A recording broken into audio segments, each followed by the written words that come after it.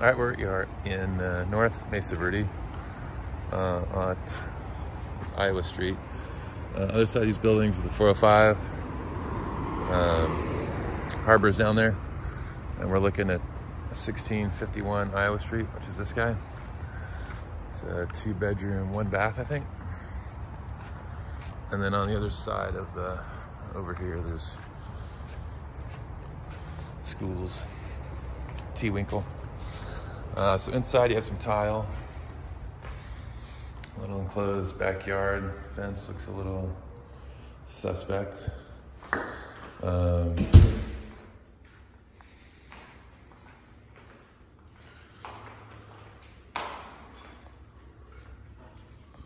looks like it's leaning, but maybe it's secure. I don't know. Probably needs a little attention.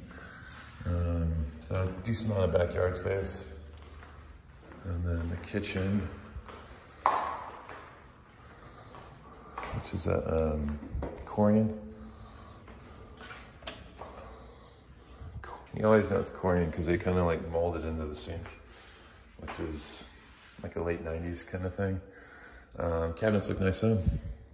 And the Corian's fine, it's just you have to make sure, um, they always leave a cutting board because they cut this chunk out because uh, it will, like you can cut into it.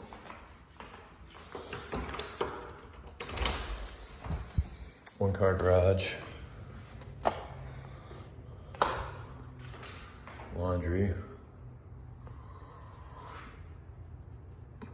Haven't seen that before. And then another spot to park right here.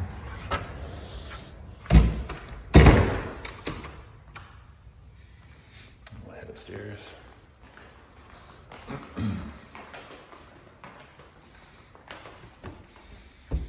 carpet's clean. It's doesn't look new. Ooh, doesn't smell new.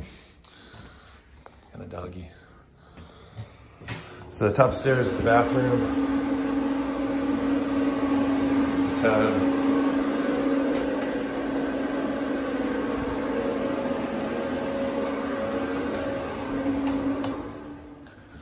And then two bedrooms.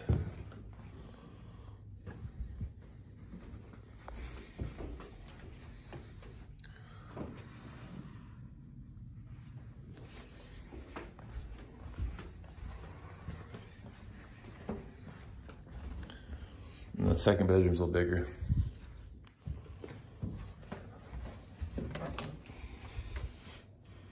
Furnace.